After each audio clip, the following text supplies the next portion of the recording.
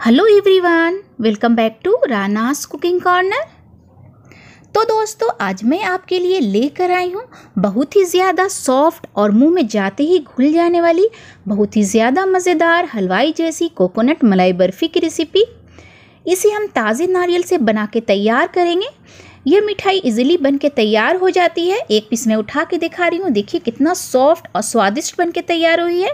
इसे मैं तोड़ रही हूँ, मिठाई तोड़ने ही से आपको इसका टेक्सचर समझ में आ रहा होगा कितना सॉफ्ट बन के तैयार हुआ है। बिल्कुल मुँह में जाते ही घुल जाने वाली मिठाई बन के तैयार हुई है।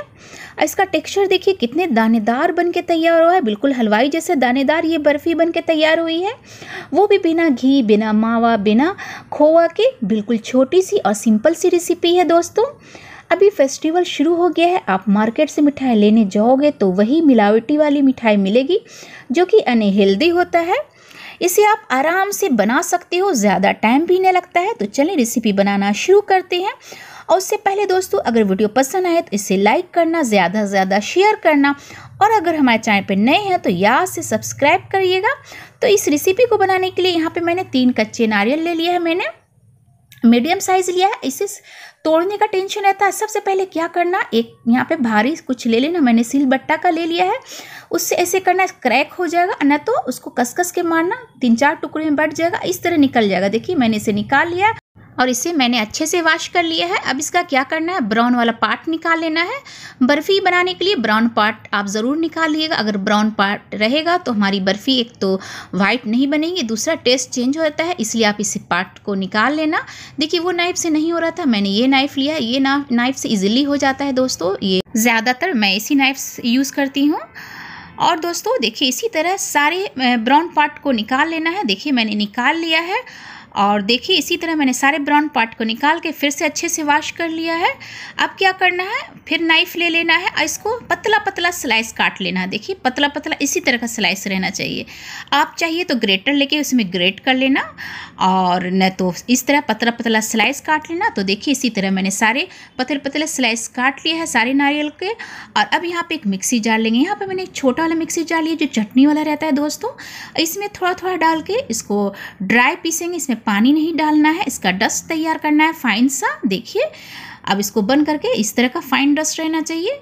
इसी तरह का फाइन डस्ट बनाइएगा और आप चाहो तो ग्रेटर से भी ग्रेट कर सकते हो, क्योंकि ये ताज़ा नारियल है, आराम से ग्रेट हो जाता है।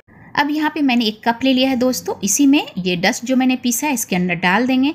आप मिठाई बनाने से पहले कप या कटोरी घर का कोई मेज़रमेंट के लिए सेट कर लेना। और नाप के बनाओगे एकदम परफेक्ट बन के तैयार होगा। देखिए, इसी तरह सेकंड बैच भी इसमें ड्राई डस्ट तैयार हो गया है। इसी कप में डालेंगे। अगर आप नाप के बनाओगे ना, एकदम पहली दफ़ा में हलवाई जैसा एकदम परफेक्ट मिठाई बन के तैयार होता है। देखिए, दो कप हो गया है। फिर बाकी जो बचा हुआ नारियल का स्लाइस उसे भी मैंने पीस लिया है।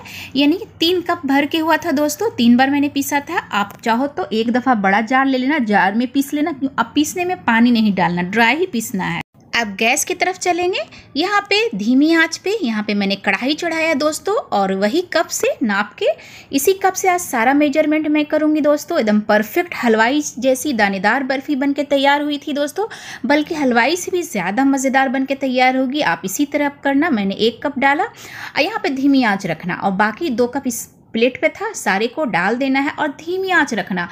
धीमी आँच पे इसका मॉइस्चर हट सुखाएँगे दोस्तों। थोड़ा सा मॉइस्चर कम हो जाएगा, इसका कलर चेंज नहीं करना है, इतना भूनना है दोस्तों। तुरंत हो जाता है और इसका जो है अरोमा निकल के बाहर आ जाएगा तो लगेगा एकदम बहुत ही ज़्यादा मज़ेदार बर्फ़ी बन के तैयार होता है। देखिए, इसका मॉइस्चर ख़त्म हो गया है। अब इसको क्या करना है? देखिए, मैं उठा कर दिखा रही हूँ। इसका कलर भी चेंज नहीं हुआ। अब उसको मैंने एक प्लेट पर निकाल लिया और फिर वहाँ पर वही कप से उसी कढ़ाई में दो कप यहाँ पर दूध डालेंगे। दो कप मैं डाल रही हूँ। नॉर्मल दूध है दोस्तों। यहाँ पर आप बॉयल या कच्चा जो भी ले सकते हो, क्योंकि इसमें बॉयल लाना है। हल्का सा बॉयल आ जाएगा दोस्तों। अब यहाँ पे बॉयल आ गया। तो यहाँ पे वही कप फिर से लेंगे दोस्तों। इसी कप से एक कप चीनी डालेंगे। एक कप चीनी यानी 200 ग्राम चीनी डालेंगे दोस्तों। मीडियम में इससे मीठा हुआ था। अगर ज़्यादा मीठा खाते हो तो आप ज़्यादा कर सकते हो। या एकदम कम खा मीठा खाते हो तो थोड़ा कम भी कर सकते हो। और डालने के बाद दो से तीन मिनट इसको अच्छे से बॉयल लेना। यानी दो कप से डेढ़ कप दूध जब हो जाएगा दोस्तों तो यहाँ पे जो कोकोनट डस्ट मैंने रखा था, हल्का सा उसको भून के रखा था, इसके अंदर डाल देना है। अच्छे से यहाँ पे डाल देना, इसको चला देना। यहाँ पे तीन से चार मिनट इसको अच्छे से दूध में पकाएँगे कि ये अच्छे से सॉफ्ट हो जाएगा दोस्तों। देखिए, यहाँ पे ज़्यादा नहीं, तीन से चार मिनट इसको कुक कर लेना है दोस्तों। खूब अच्छे से ये सॉफ्ट हो जाएगा। तो देखिए दोस्तों, ये अच्छे से सॉफ्ट हो गया है। अब यहाँ पे क्या करेंगे? यहाँ पे मेन चीज़, एक चीज़ डालेंगे दोस्तों। जब मैं कोकोनट मलाई बर्फ़ी बना रही हूँ तो यहाँ पे मलाई तो पड़ेगा ही। यहाँ पे उसी कप से नाप के मैं एक कप मलाई ले रही हूँ, ये वही मलाई है जो दूध हम खुलाते ना दोस्तों, जो ऊपर जम जाती है वही।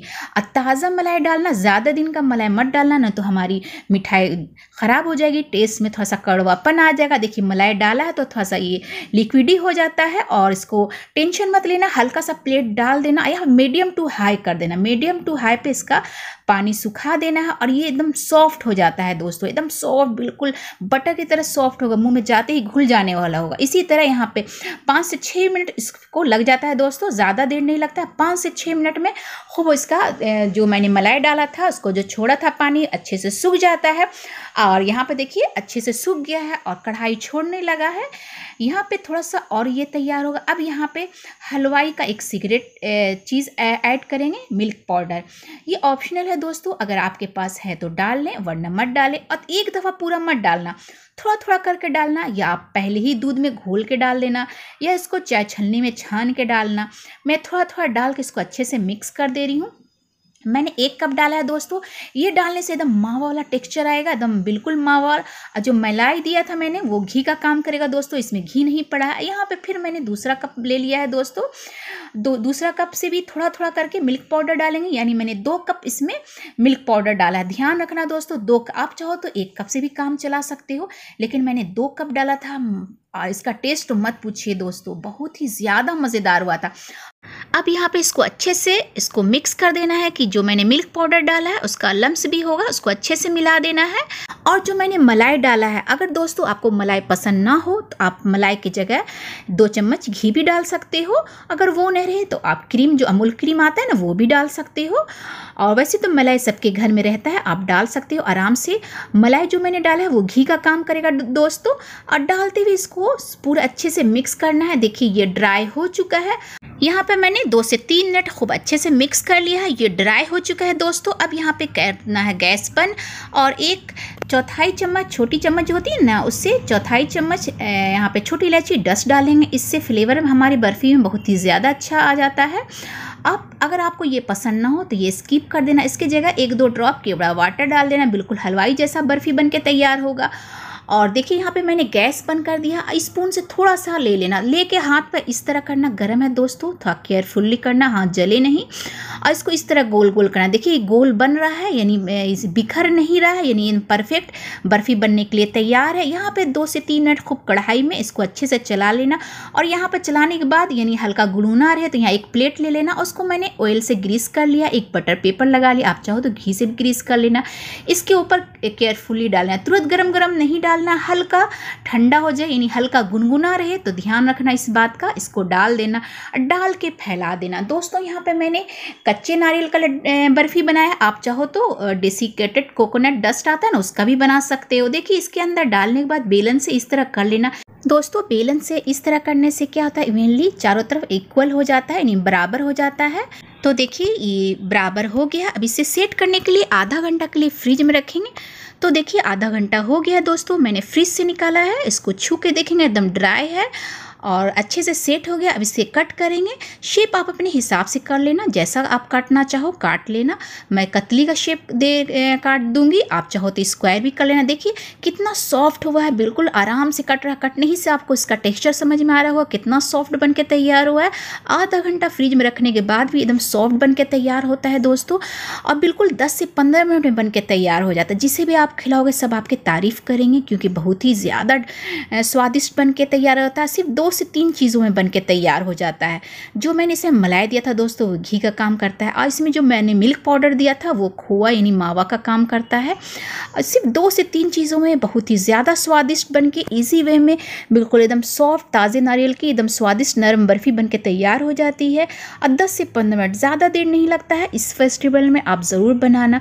और बाहर का मिलावटी मिठाई मत खाना, वो बिल्कुल अनहेल्दी होता है दोस्तों। इसे मैं निकाल के देखा देखिए इजीली निकल गया है। इसमें मैं मैंने बटर पेपर पे मैंने ऑयल लगाया था दोस्तों ग्रीस कर दिया था। देखिए कितना आसानी से निकल जा रहा है, कोई दिक्कत भी नहीं हो। रहा बनाना भी इसको आसान है, निकालना भी बहुत आसान है। अब कितना सॉफ्ट हुआ देखिए एकदम साइज़ शेप हर चीज़ एकदम परफेक्ट हुआ है। दोस्तों, आज से पहले अगर आपने मिठाई कभी नहीं बनाया है और मिठाई बनाने से डर रहे हैं तो आप ये वाला मिठाई आराम से बना सकते हैं। इसे बनाना बहुत ज़्यादा आसान है, बिल्कुल दो से तीन चीज़ों से बन के तैयार हो जाती है और हेल्दी भी है। आप इस फेस्टिवल में बना के अपने फैमिली के साथ इंजॉय करें। बाहर का मिलावटी मिठाई बिल्कुल न लें, बिल्कुल अनहेल्दी होता है दोस्तों। एक पीस मैं उठा के दिखा रही हूँ, देखिए, देखने में कितना स्वादिष्ट लग रहा है। जितना देखने में लगता है, उतना खाने में लगता है दोस्तों। ऐसे मैंने पिस्ता और केसर से डेकोरेट किया था। आप चाहो तो चांदी का वर्क या जिससे चाहो उससे डेकोरेट कर सकते हो। देखिए दोस्तों, मैं इसे तोड़ रही हूँ। मिठाई तोड़ने ही से इसका टेक्सचर आपको समझ में आ रहा हो कितना दानेदार सॉफ्ट बिल्कुल मुँह में जाते ही घुल जाने वाला बन के तैयार हुआ है। ओके दोस्तों, अगर वीडियो पसंद आए तो इसे लाइक एंड शेयर, और हमारे चैनल पर नए हैं तो इसे ज़रूर से सब्सक्राइब करिएगा। मैं फिर मिलूँगी।